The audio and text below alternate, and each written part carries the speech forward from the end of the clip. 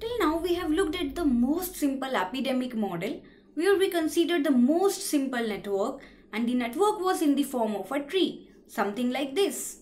Simple.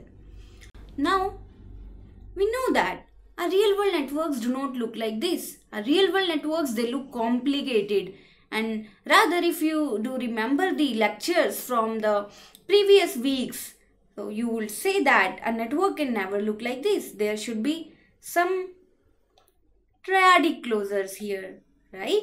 So if uh, this guy over here is a friend with both of these, there is a good chance that both of these are friends. Both of these are friends and maybe uh, th this person here can be a friend with this one. So network networks actually look very complicated, something like this.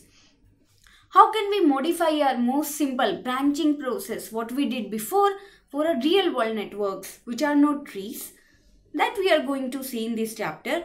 Let's say that we have a complicated network, not a tree. By complicated, what I mean is not a tree, which looks something like this.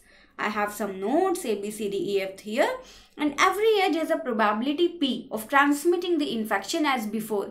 So everything is same, every edge is having the same probability. The only difference is in the layout of the network. Instead of the tree, we have taken a proper network. Let's say it's connected to D also here and the network looks something like this. Now I want to simulate the spreading of a contagion here. How do we do that? Let's say initially A is infected and now A has three neighbors B, C and D and it tries to infect each of these again independently with a probability p. So again here are three independent processes. We can flip a coin for the edge A to C and if head comes we infect C. Similarly we can flip a coin for the edge A to D and if a head comes we mark D as infected and same thing we can repeat for B. So maybe A is able to infect B and C. How can I lay out, lay out it in the form of a tree? What is happening here? Let us see. Here is A and A was having three neighbors B, C and D and A was able to infect B and C. And now you see A's role is over. I'll discuss more about it. What I mean here in a branching model also at this step A's role was over. A got one chance to infect and A infected B and C now it is B and C's turn. Now B and C will go ahead and see which of their neighbors they can infect. Why so? It should be so, right? Because if A keeps getting a chance, rather if every node keeps getting a chance to infect their neighbors at every time period, then this entire network will get infected.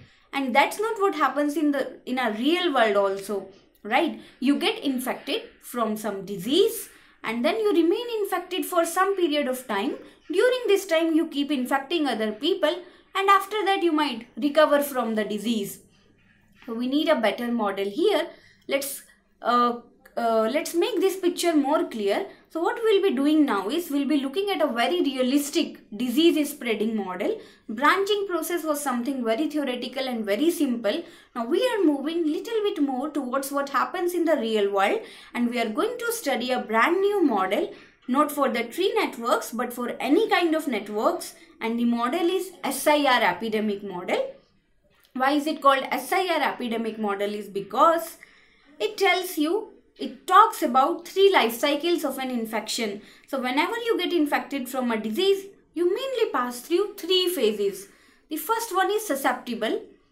Susceptible is the one where you are happily living your life. You are not infected from any disease. You are not infected from the disease. And then the second stage is infected. So you come in contact with somebody who is infected and you get infected. And the last one is recovered or removed. Recovered or removed is something that needs to be uh, taken very seriously here. Something which is very important. What do we mean by recovered and removed here is what makes this model the more what makes this model special. This SIR model it is used for two kinds of diseases. First kind of diseases first kind of disease is something which is a terminal illness what happens in the case of a terminal illness is patient ultimately dies away.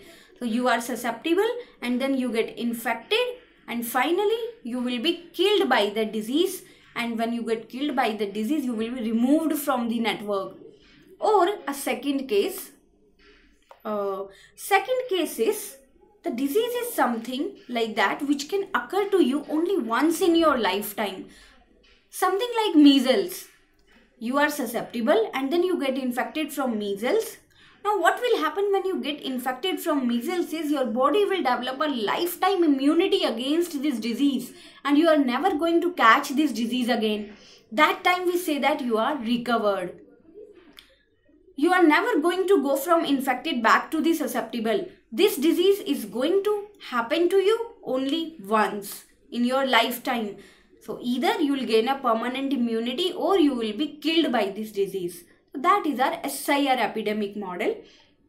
In our next lecture, we'll see how can I, uh, we'll see how can we simulate this uh, uh, model on an actual network. We are going to do that. So for going, so, so we are having, so a node can here exist in three states as we saw and exactly one state at a time. You can't be susceptible and infected at the same time and infected and recovered both at the same time.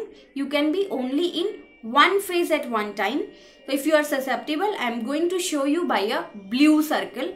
If you are infected, I am going to show you by an infected circle. I'll tell you what this TI is and if you are recovered or removed, I am going to show you by a yellow circle. So yellow circles can be ignored from our network because they have recovered and removed. They have nothing to do with the spreading of the disease now. What is this TI here? TI here is again something very logical.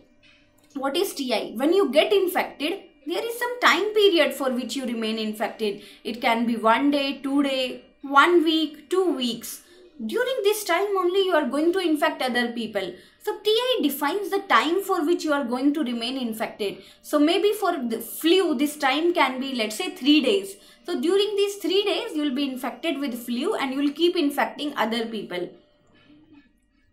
If you look at this figure here where I said that here is A and then A infected these two people B and C and then we said that A's role is over and these are B and C who are going to further infect other people. Can you tell me what is the value of TI here? So TI, the time for which you are infecting here is 1, right? Because if it was 2, after A infected B and C, A will again get a chance to infect once more. We'll look at it in detail. I just wanted to tell you the use of TI. So this is it. This is SIR model and in our next lecture we'll see that how we can simulate this SIR model on a given network.